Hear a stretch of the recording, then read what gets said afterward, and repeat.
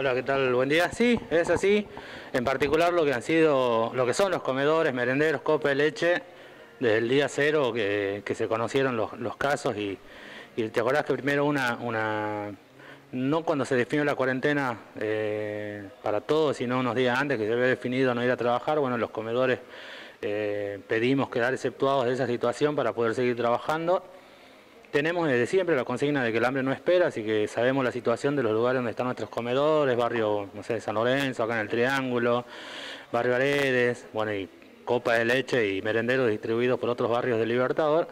Así que nos hemos puesto en la tarea de hablar con las compañeras, eh, tomar las precauciones de salubridad que nos exigen de, parte del Ministerio y continuar con el trabajo. Eh, tal es así que, bueno, tanto los comedores como como las copas de leche y merenderos, este, seguimos activos. Está bien. Eh, contame de qué manera eh, trabajan, digamos, están entregando como viandas.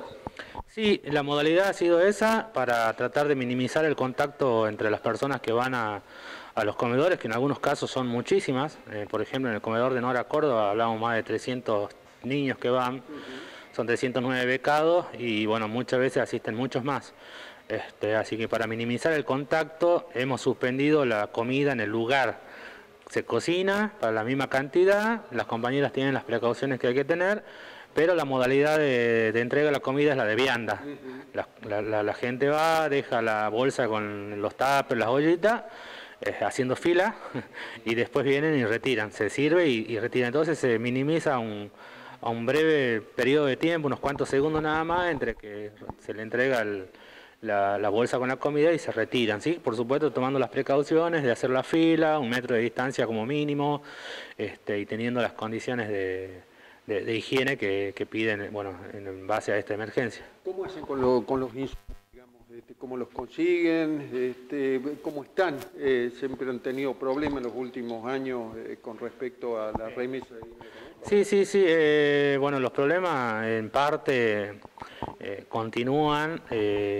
En el caso de lo que es la beca de los comedores, eh, desde el mes de, hace un mes, un mes de marzo sería, este, se ha empezado a incrementar el monto que llega, se ha duplicado, era de 6,85, ahora hablamos del doble de eso, 13 pesos con 40, creo que es una cosa así, o 13 pesos con, con 70. Este, pero hemos tenido dificultad igualmente eh, en conseguir la mercadería. Más que nada la verdura. Eh, las compañeras han ido a comprar verdura y viste que hay una especie de medición de los verduleros para venderte, no te quieren vender más que por kilo y nosotros necesitamos comprar en cantidad, en bolsas, en atados, porque se cocina para muchos chicos, así que bueno, eso ha sido una dificultad que la estamos superando de a poco. Ah, eh, primero tácticamente tenían que ir compañera tras compañera a comprar para para poder hacer el, monto diario necesario de, verduras para, para, cocinar para tantos chicos, hasta que bueno, hemos ido encontrando por ahí algunos conocidos, además se necesita factura, no se puede comprar en negro porque eso se rinde mes a mes. Y con la situación como está ahora de que la mayoría de los comercios están cerrados, cuesta un poco mantener en pie, los límites horarios son mucho más estrechos, este, nos está costando, pero bueno, estamos saliendo adelante igual. La, dieta aproximadamente, bueno, tiene algo de verdura, algo de fruta, tratan de equilibrar. Sí, siempre, siempre eh, hay un menú que mes a mes eh, se presenta en el ministerio. Vos cuando rendís, rendís el monto, la verdura o lo que hayas comprado, es decir, las facturas originales. Este, y además permanentemente hay un control acerca de la, del menú que se da por mes. Eh, por ejemplo, no puedes hacer eh, solamente sopa todos los días, tenés que ir variando, eh, ellos te exigen que eh, tantos días a la semana contenga carne el menú, tantos días a la semana se entregue una fruta, o sea, hay una, un control en ese sentido que hasta ahora se viene cumpliendo, por eso seguimos con los comedores nuestros abiertos y, bueno, y manteniendo el régimen de, del control provincial con el subsidio este provincial que son las becas alimentarias. ¿Sabés si hay otras instituciones sociales, eh, como el caso de la CCC, que están trabajando en este sentido? Eh, la verdad que no lo sé, no hemos tenido contacto. Eh, imaginamos que sí, porque en el decreto este, del aislamiento social obligatorio quedan exceptuados los comedores, pero también es, es, verdad que hay que hablar con las compañeras, ¿no? las que trabajan allí. En el caso de la CDC, todos los comedores de la CDC están funcionando, eh, tanto a nivel local como provincial y nacional. Hemos tomado esa determinación como un eje central nacional, tanto comedores, cope, leche y merendero. El resto este, no sabría decirte, porque sí hemos tenido muchas veces, te repito, que hablar con algunas compañeras que también tienen el temor de del contagio, a veces un poco la psicosis y todo eso, entonces hay que, ir a una concientización también de las trabajadoras y después también porque no podemos acumular mucha gente en los lugares de trabajo, entonces tenemos que dividir los grupos, eh, no más de 5 o 6, dependiendo de la cantidad que haya que cocinar o, hacer la merienda, no más de eso, y en muchos casos que eran más las que trabajaban, tenemos que ir reprogramando los turnos, bueno, pero sí, de parte nuestra estamos funcionando, el resto calculo que la mayoría sí estará haciéndolo.